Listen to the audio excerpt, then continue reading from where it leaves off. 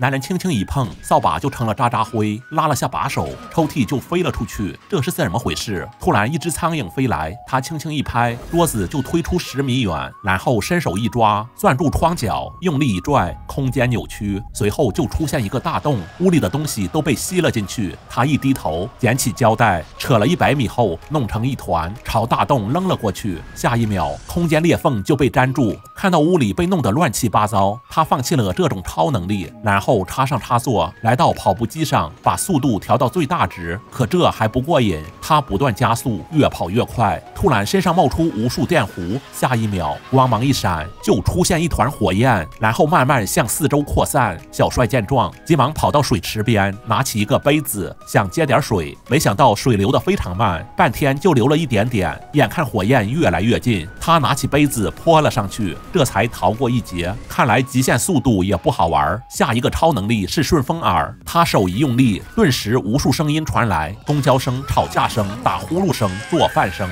甚至还有孩子的哭声。他彻底崩溃了，急忙掏出耳塞，看来这个超能力也不行。紧接着拿出一个电路板，组装完成后安上变压器，随后转动按钮，瞬间他就缩小了一万倍，所有一切在他眼中是那么大。然后转向另一边，他就放大了十倍，这也太好玩了。他不停地转动按钮，速度。越来越快，突然冒出一阵电火花，它不停地变大缩小，根本停不下来。这下完了，它一用力，按钮掉到地上，它也停止了变换，不过成了迷你小人。如果是你，你喜欢哪种超能力呢？种子破土而出，竟然钻出几个头。女孩非常高兴，拿起喷壶开始浇水。小人们只能默默承受，不敢有一丝反抗。为了让他们茁壮成长，把花盆放到阳台上，更好地进行光合作用，还给他们买了哑铃，练习臂力。经过刻苦训练，两天后就能拉动一吨重的机器。可光有力量还不行，必须劳逸结合，多读点书，掌握棒球的技巧。原来他们都是迷你棒球手。三天前，小美去去超市买了几颗棒球手种子，把它们放到花盆里，然后埋点土，再浇点水，棒球手就钻了出来。为了取得好成绩，他们天天练习棒球，甚至拿蝴蝶当陪练。这天，一个男人闯了进来，还捧着一个棒球手。原来他是来挑战的。晚上，球手们对着萤火虫许下必胜的心愿。可一觉醒来，发现花盆里空空如也。小美急忙跑了出去，发现他们已经成熟了，早就排好队伍，然后信心满满的参加比赛。而对手也非常厉害，每一发炮弹都威力十足，不过都被接了下来。小美对此非常满意，玩得越来越痴迷。那么问题来了，你知道这是什么广告吗？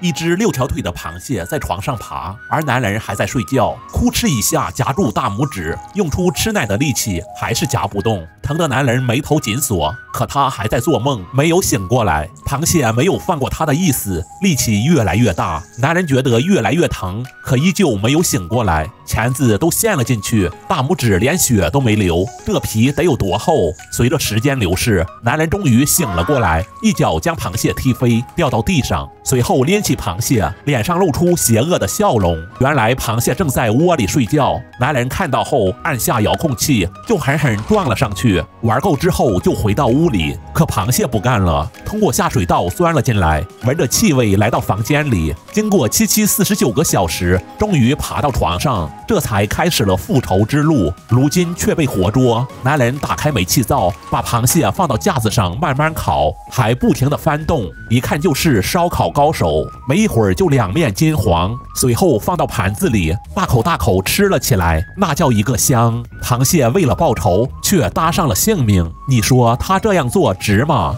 一只小眼睛走了出来，可他不看路，扑哧一下撞到钢筋上，站立不稳，摔了一跤，眼球竟然掉了下来，快速向下滚去，跳过林荫小路，一头栽进河里，在湍急的河流中快速向下游去，而眼球里还有个人，必须尽快营救。工作人员来到桥上，想拦下眼球，可根本够不到，还是鼻子够意思，拖着庞大的身躯来到下游，从鼻孔里伸出一个口袋，这才把眼球拦了下来，在工作人员的帮助。下成功捡回一条命，在地面的感觉真好。他非常兴奋，不停地翻着跟头来庆祝自己获得新生，还跟游客拍照留念。他们一家五口终于凑齐了，来到步行街闲逛。这大脚丫子足足有四十二码，扑哧一下就把女人踩到下面。头也比比较淘气，用大舌头舔着小奶狗，一口把人吞了进去。他见人就去搭讪，甚至还会两面夹击，连漂亮的小姐姐都不放过。更过分的是，用水泼周围的游客。首长也不甘寂寞，在大街上跳起了舞，伸进水池里来个人工降雨，玩累了就趴到汽车上休息会儿。到了晚上，眼球钻进后备箱里，而首长趴到了车顶上，快速回家了。不过这种情况会不会被交警叔叔查呢？没过多久就来到家里，晃晃悠悠向屋里走去，可眼睛太大，根本挤不进去，没办法，只好在外面玩会儿。那么问题来了，面对这几个五官，你最喜欢哪个呢？空中出现一个时光圈，里面有树、有草、有花园。男人非常好奇，从花坛上跳了下来，慢慢靠近时光圈，抬起左手，一点点伸了进去。发现没有危险后，让女友过来试试，之后抬脚走了进去。小美过来后，伸手摸了摸。突然伸出一只手，把他拽了进去。这里草木茂盛，绿树成荫。随后时光圈就消失了。他们走着走着，空中出现一块屏幕，原来他们进入了游戏世界。小美刚点了下开始，就劈下一道闪电，战斗正式开始。他们分别向两边跑去。大壮手一抬，拉出游戏界面，选了个炮塔，地面就多了个炮台。调整方向后，射出炮弹，差点炸到小美。小美选了个骷髅，蓝光一闪，出现一排士兵。他们迈着整齐的步伐，在小美的指挥下跑步前进。大壮点了下屏幕，就掉下一根木头，上面有无数尖刺，快速滚了下去。骷髅士兵瞬间死亡惨重。随后他又选了个石头人，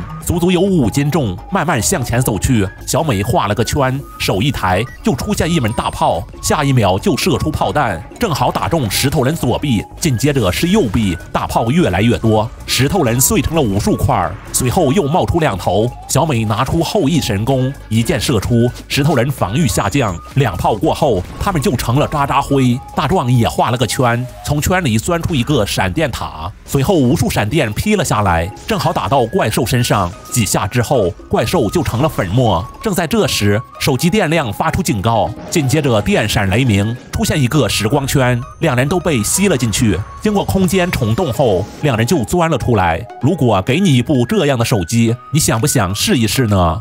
女人的胳膊在慢慢溶解，吓得她张大了嘴巴，哭哧一声倒在地上。原来脚已经不见了。腿还在快速融化，他想拼命求救，可嘴巴也消失了，只能发出呜呜的声音。伸手一摸，只摸到了鼻孔，低头一看，四根手指也一点点消失。随后看向远方，希望丈夫能早点过来。果然，门被打开，丈夫走了出来，眼睛扫了一遍两亩大的院子，发现上面空空如也，根本没有妻子的身影。他觉得自己听错了，又走了回去。原来两天前，他们花九块九买下这栋房子。可搬进来后，诡异的事情发生了。晚上十二点整，门突然打开，床上有个被包裹的人形物体。小美慢慢走过去，拉开床单一看，里面竟然是个陌生女人，还不停地口吐芬芳。她头痛欲裂，急忙捂住耳朵，而女人的身体在快速溶解。幸好这只是个梦。可刚走出来，发现屋子非常陌生，自己一样都不认识，而且相框里的竟然是别人。她顿时傻了眼，急忙跑进另一个屋里。却发现两个陌生人，还说这是他的家。可看到陌生的一切，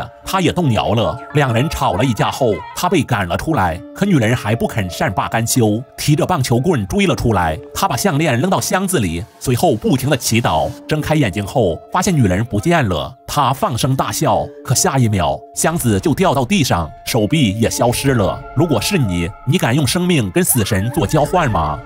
鲨鱼宝宝拿起马桶刷，认真地刷起了大黄牙，随后喝了一桶漱口水，漱了几下后，竟然吐出几条鱼骨头，可还是觉得塞牙。仔细一看，鱼刺塞到了牙缝里。紧接着又用电钻抛光，用锉刀修了修牙齿，感觉非常丝滑。然后用牙线剔了剔牙，这些还不够，又用了各种工具，这下牙终于白了。可下一秒，牙齿就稀里哗啦往下掉。他非常生气，用力一吼，牙齿就快速长了出来。又白又亮，然后美美的上班去了。正好有顾客上门，他热情的打了个招呼，没想到顾客张大嘴巴就扑了上来，咬住了他的头，怎么都弄不下来，只好哐哐敲起了桌子。第二位顾客是头鳄鱼，他有点胖，怎么都进不来，他非常生气，一用力门就掉了下来。鲨鱼宝宝则是一脸惊恐，随后把一张纸拍到桌子上，原来他是找工作的，最擅长换装表演，真没想到他这么多才多艺。然后后摆了个酷酷的 pose，看得鲨鱼宝宝直咧嘴。可看到鳄鱼那狰狞的表情，他彻底怂了。面对鳄鱼的大嘴，他只好强颜欢笑。面试顺利通过，可第一天上班就让鳄鱼去当志愿者，到海边捡垃圾。正当他郁闷时，一抬头看到一辆垃圾车，